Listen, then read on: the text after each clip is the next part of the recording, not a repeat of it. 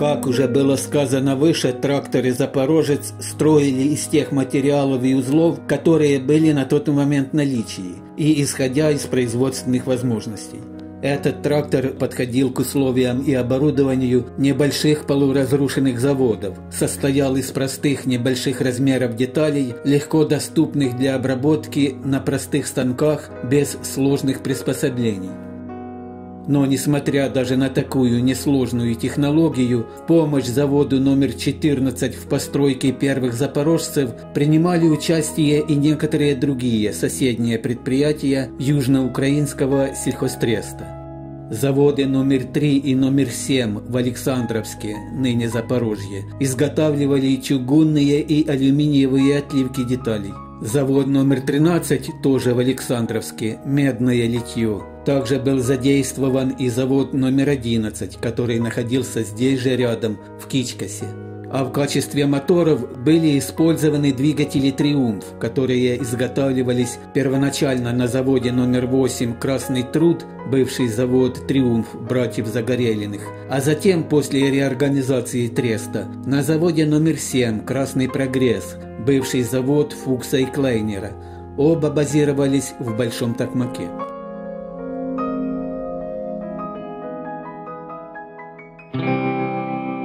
На опытный «Запорожец» ставился нефтяной двухтактный одноцилиндровый бесклапанный двигатель низкого сжатия с запальным шаром. Первоначальной мощностью 10 лошадиных сил при 400 оборотах коленчатого вала в минуту, а на поздних выпусках более мощный в 14 лошадиных сил. Двигатели завод «Триумф» строил по примеру шведских «Аванс», как уже известно, непосредственно в Кичкасе также изготавливались нефтяные двигатели. В частности, завод Копа выпускал такие мощностью от 8 до 15 лошадиных сил еще с 1907 года, но они были горизонтального типа, что не совсем подходило для установки на трактор а «Триумфы» строились мощностью от 10 до 35 лошадиных сил и были вертикального типа.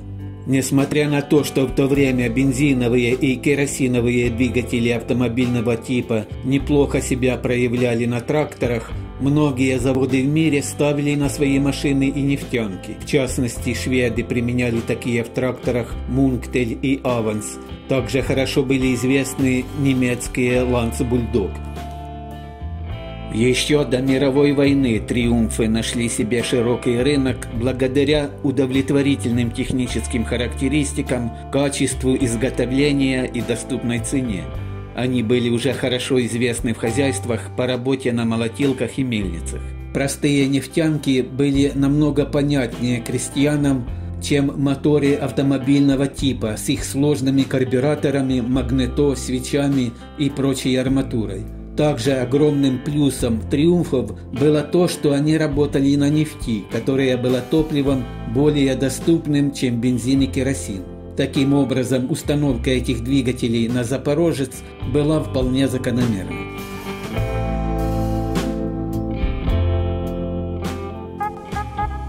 Двигатель с запальным шаром представляет собой тип двигателя внутреннего сгорания, в котором топливо воспламеняется при контакте с раскаленной металлической поверхностью внутри специальной колбы колоризатора с последующей подачей в камеру сгорания воздуха сжатого поршнем. Для пуска двигателя предварительно колбу-колоризатор нужно было разогреть до красного коления. Это делалось чаще всего с помощью керосиновой лампы. В дальнейшем нагрев колбы поддерживался теплом из камеры сгорания. Запальной шар в таком двигателе необходим, так как давление сжатия в его цилиндре достигает всего около 12 атмосфер, а температура при этом повышается всего до 350 градусов, чего недостаточно для самовоспламенения нефти.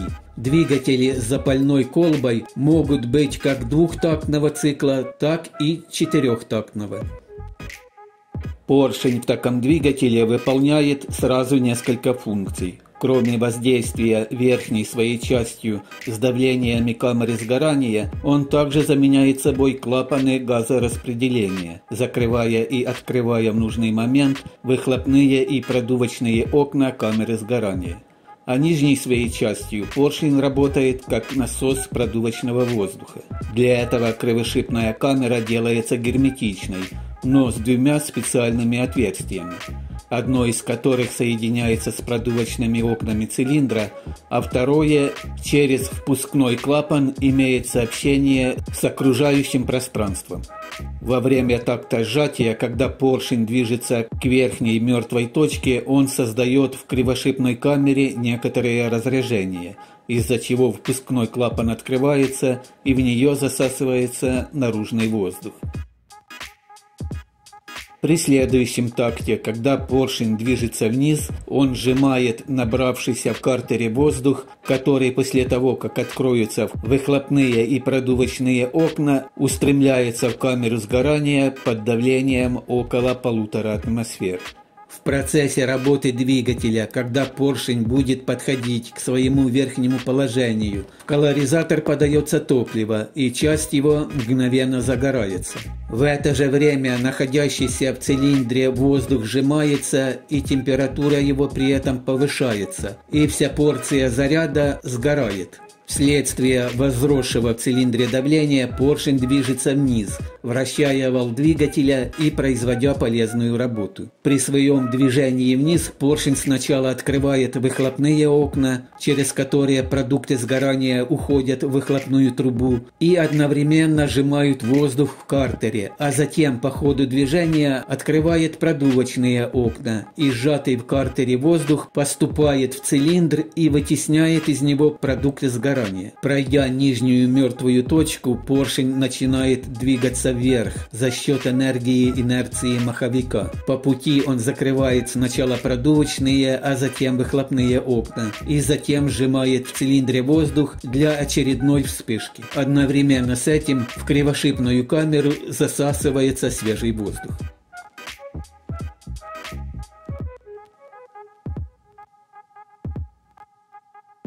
Горючая нефть в двигатель подается посредством аппарата питания двигателя топливом, который состоит из форсунки и топливного насоса, или, как его еще называли, нефтяного насосика. Топливо должно подаваться в цилиндр порциями и в строго определенный момент. Это происходит тогда, когда в цилиндре поршнем уже создано некоторое давление. Топливный насос состоял из бронзового корпуса, в котором находились поршень или, как его еще называли, скалка, два клапана, всасывающий и нагнетательный, с шариками и пружинами, прижимные гайки и прочее.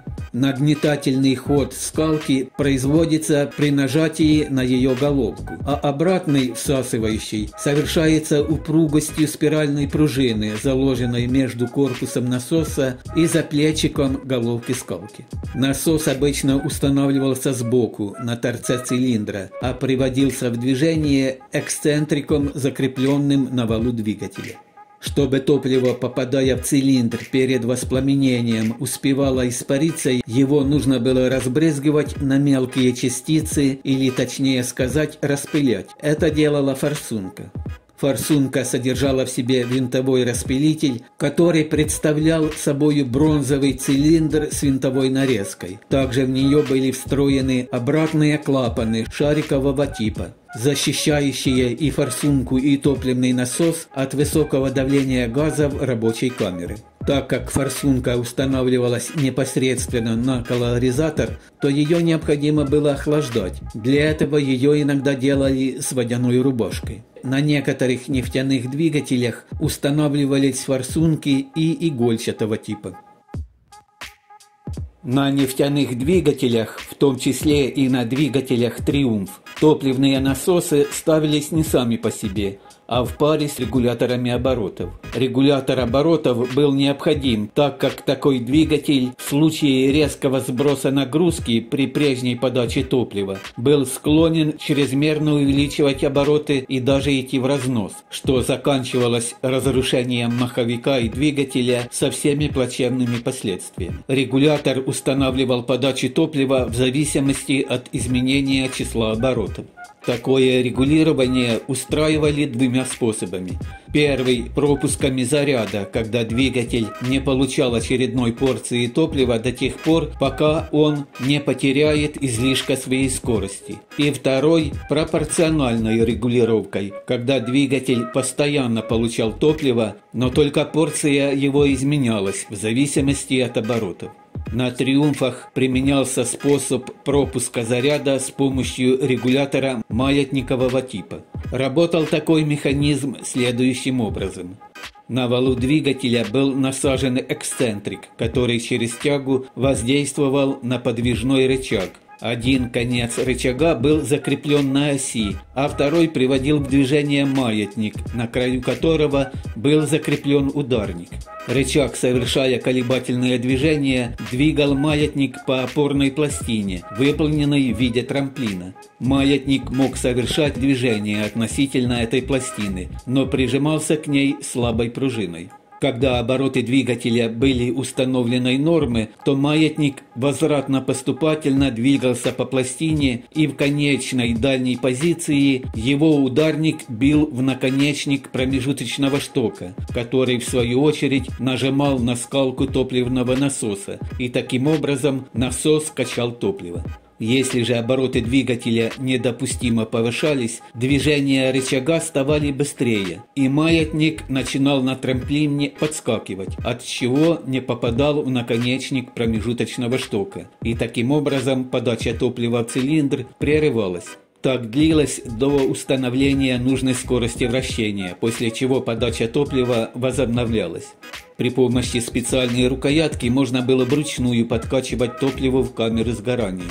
Это делалось при пуске двигателя в ход. Также перемещая регулировочную гайку, можно было изменять ход скалки насоса, а следовательно и величину порций топлива, и таким образом изменять скорость вращения двигателя.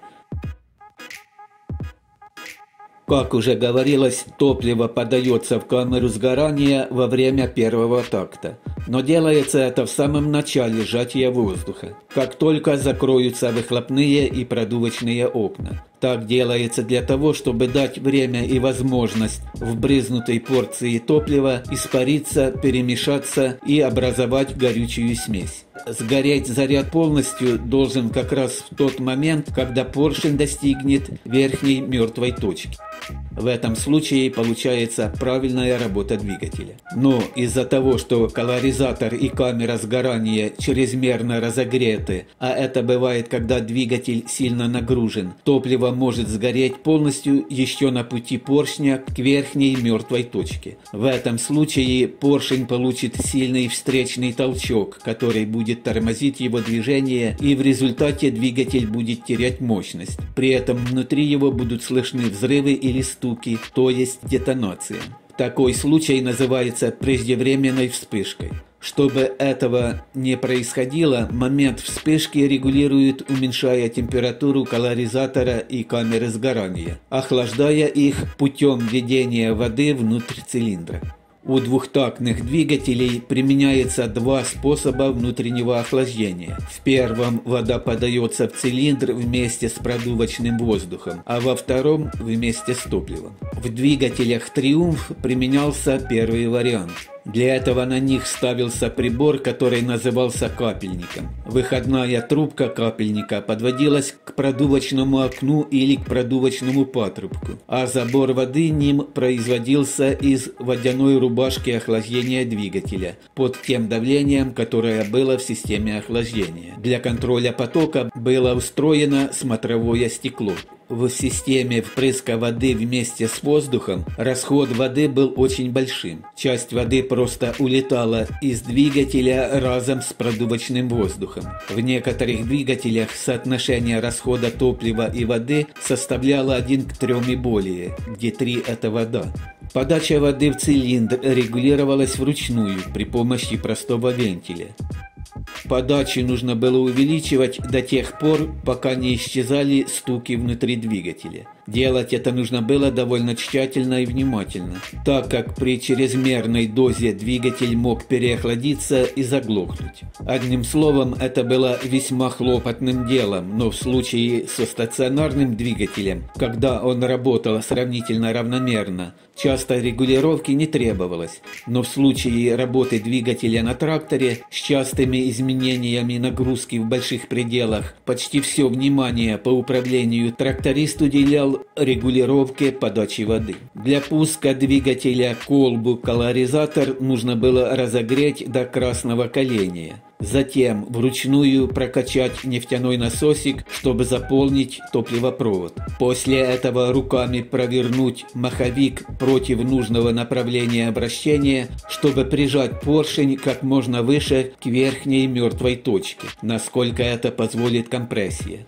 когда сжатие отбросит поршень назад, в такт с этим максимальным усилием крутануть маховик по направлению нормального вращения и этим помочь двигателю пойти в ход. Так как конструкция такого двигателя не имела клапанов газораспределения, он мог очень просто реверсироваться. Для этого его нужно было остановить и запустить вновь поворотом маховика в обратном направлении. Правда, такой двигатель мог и самореверсироваться, двигаться, причем даже тогда, когда это не было нужно. Если замедлять обороты практически до остановки, то в последний момент поршень может получить достаточный импульс, чтобы отскочить от созданного сжатия и двигатель запустится на обратный ход.